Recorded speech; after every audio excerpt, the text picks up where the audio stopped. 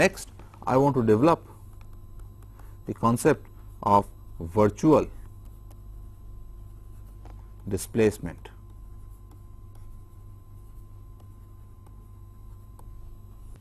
In virtual displacement, I would like you to imagine and I want to emphasize this word imagine the displacement of a system under equilibrium. And the displacement is such that displacement is consistent with the constraints.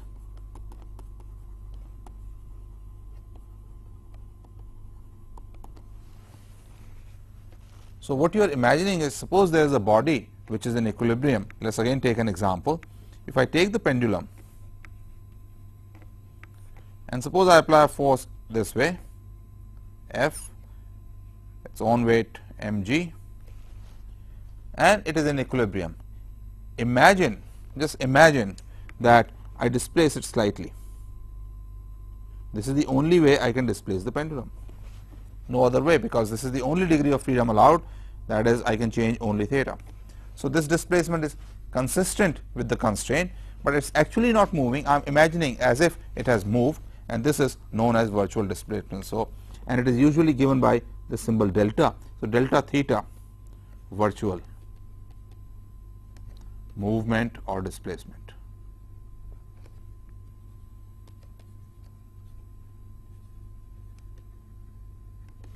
On the other hand, if I moved the bob along the string, the length of the string would change and that motion would not be consistent with the constraint condition.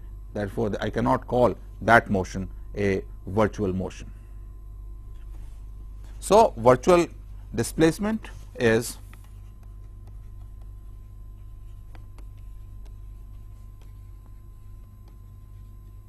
displacement again is an imagined displacement of systems subsystems consistent. So, imagined displacement of a system consistent with the constraints.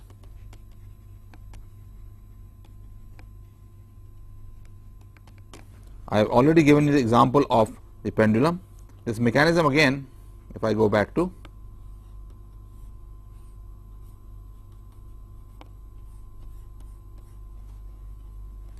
the only way I can change its configuration is by changing the theta. So, if it is in equilibrium under this force F here and its own weight, the virtual displacement would be delta theta. One thing I should make it clear I am writing it delta theta. So, virtual displacement is also very small displacement. The change is very small. You imagine a very very small change. So, it is about equilibrium a very small change which we imagine and that is a virtual displacement. Next associated with virtual displacement is something called the virtual work. So, when you are making a virtual displacement each particle in the system is changing its position. So, virtual work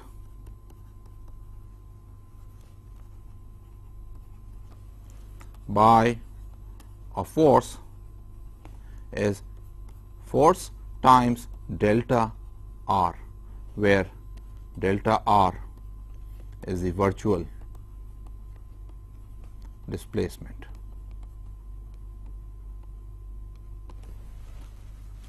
Naturally, if, we, if I am doing a displacement consistent with the constraints and we have already seen that the constraint forces do not do any work. So, virtual work done by constraint forces is equal to 0. This is a very very important statement and that makes the development of method of virtual work possible. With these definitions we are now ready to develop the method of virtual work. So, in method of virtual work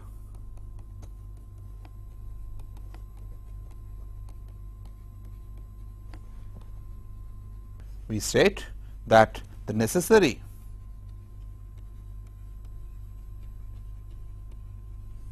and sufficient both necessary and sufficient condition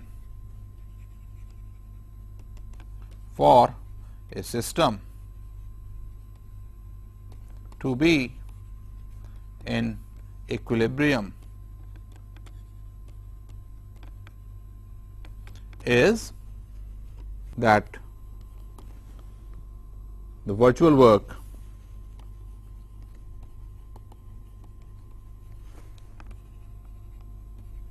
done by externally applied forces vanishes.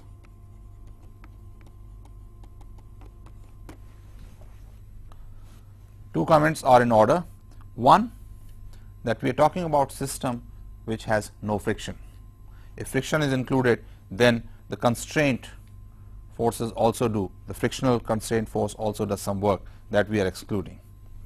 Then because of the vanishing of work by constraint forces, it is only the work done by externally applied forces, those which are not constraint forces, but the forces that we apply from outside to achieve equilibrium, then the virtual work done by externally applied forces vanishes.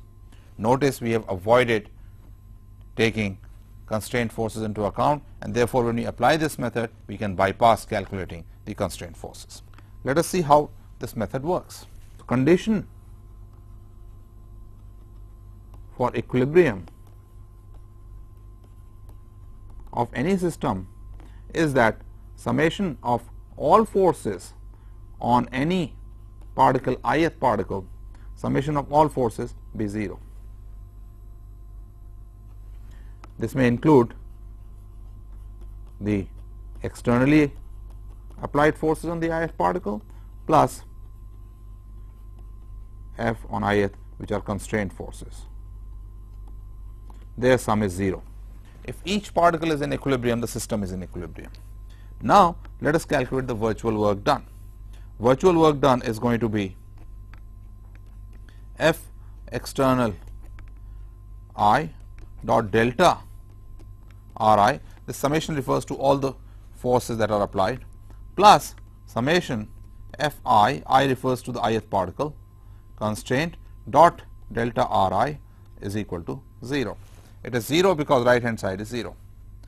However, we already said that constraints do no work. Therefore, the right this second term vanishes and this, this, this tells you that the work done by all the external forces together on each particle is 0. If the work done on each particle is 0, the net force therefore summation over i is also 0 implies delta w the virtual work external is 0. We have proved the necessary part of the principle of virtual work. How about the sufficient condition?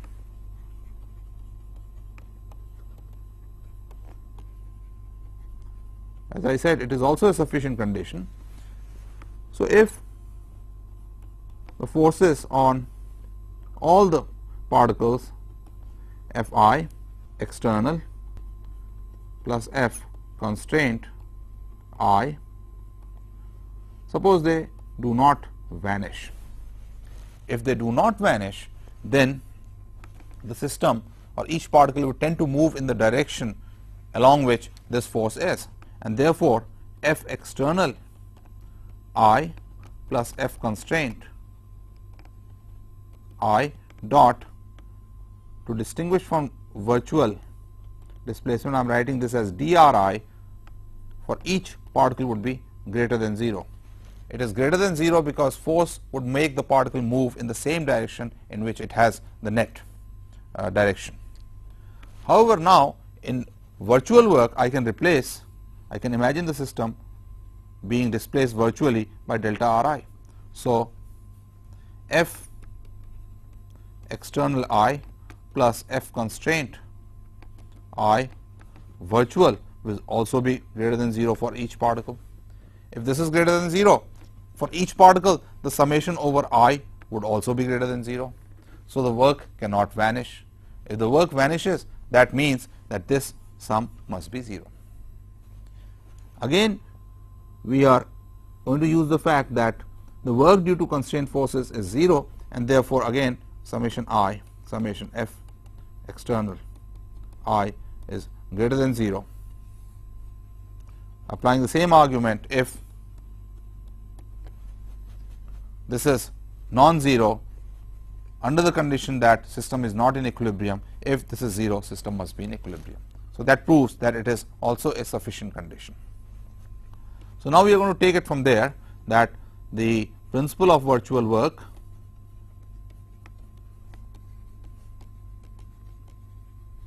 is I will write this in symbols the virtual work done by external forces is equal to 0 at equilibrium.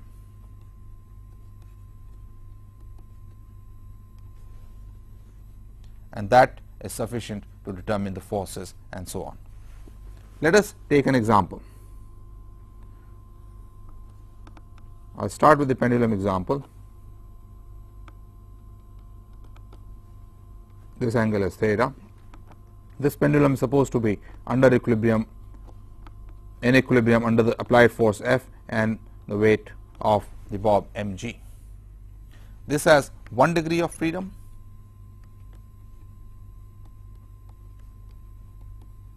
So, I can make a virtual displacement changing that theta only here. The principle says that delta W only external forces is equal to 0. The only external forces that are working on the system are F and mg with T being the constraint force which does 0 work. So, this is only external. Let us make a virtual displacement of delta theta. If I make a virtual displacement of delta theta, let us calculate the work done, virtual work done by force F and force mg. When I make this displacement, if the length of the pendulum is L,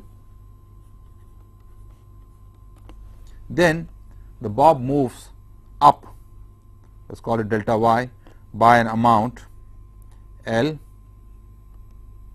sine theta delta theta and it moves in the horizontal direction by L cosine theta delta theta. In fact, I should put this negative to show that it is moving up. So, the virtual work done is going to be let me make the picture again this is the bob at an angle theta. I change this to a virtual position theta plus delta theta. Then delta y is moving up minus L sine theta delta theta.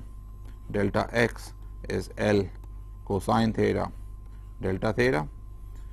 The force this way is F, force this way is mg so, this minus sign in delta y actually refers to this being opposite to mg. So, delta w is going to be f l cosine theta delta theta minus m g l sine theta delta theta and by principle of virtual work this should be 0 and that gives me f equals m g tangent theta straight away. You see I did not have to go to calculate the tension whereby I would have written T cosine theta is equal to mg and T sine theta is equal to F and therefore F equals mg tangent of theta. Let's take the other example that we took in the beginning with this mechanism here.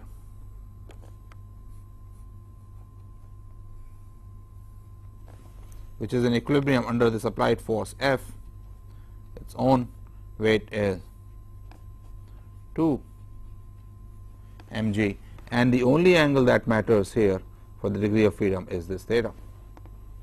Each side, each half of the bar is B. The constraint forces again do not do any work and therefore, delta W external forces only should be 0. The two external forces that are there are F and mg. Let us make a virtual displacement of the system. What would a virtual displacement be? Virtual displacement be will be to make this angle larger. If I make this angle larger, what I will be doing is pulling this point out, let me show it by red, this point will be going out and this point would be moving up. By how much amount? Let us calculate that. So, this distance here is nothing but let us call this y and let this distance from here to here be x. Then you see that y is equal to b this angle is going to be theta by 2. So, y is b cosine of theta by 2. If I change theta slightly, delta y is going to be delta of b cosine of theta by 2 and that is going to be b over 2 sine of theta by 2 delta theta. This is the virtual displacement of the, the center point if I change angle to theta plus delta theta. Similarly, x is equal to b sine of theta by 2 this entire distance and therefore, delta x is going to be 2 b 1 by 2 cosine of theta by 2 delta theta which comes out to be b cosine of theta by 2 delta theta. Why we are calculating these delta x and delta y is so that I can calculate the virtual work done by force F and 2 mg. Let me make the picture again schematically and we have calculated that delta y is nothing but minus b over 2 sine theta by 2 delta theta and delta x is equal to b cosine of theta by 2 delta theta. By minus sign we mean that y is decreasing or the point here is moving up. So, delta w is going to be equal to the work done by for virtual work done by force F. Since x has increased by b cosine theta by 2 delta theta, work done by F is going to be F b cosine of theta by 2 delta theta positive because the, the, the point here has moved in the same direction as the force and the work done by the force mg or the weight is going to be minus 2 mg b over 2 sine of theta by 2 delta theta and this should be 0. You calculate this and you get f equals mg tangent theta by 2 and that is your answer that we had obtained earlier. Notice I did not have to go through calculating the normal forces and things like those which we avoided and bypassed because of the work being virtual work being done by those normal forces or constraint forces 0.